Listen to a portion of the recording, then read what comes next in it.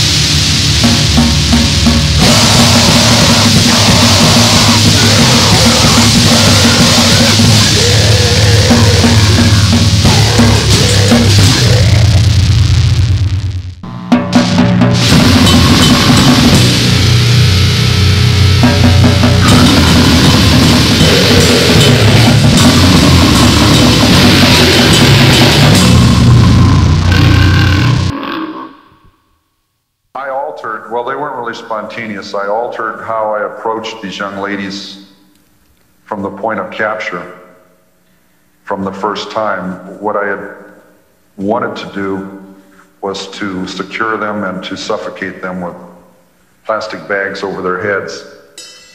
I had some completely unrealistic uh, perspective that that was quick, that they would lose consciousness rapidly.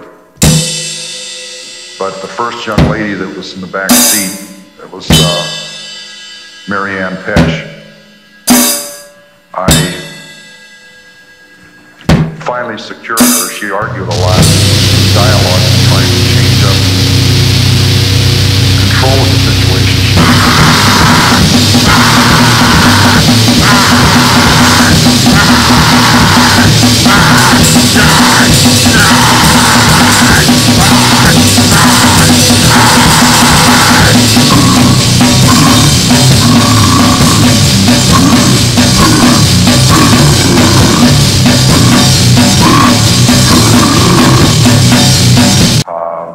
disturbed.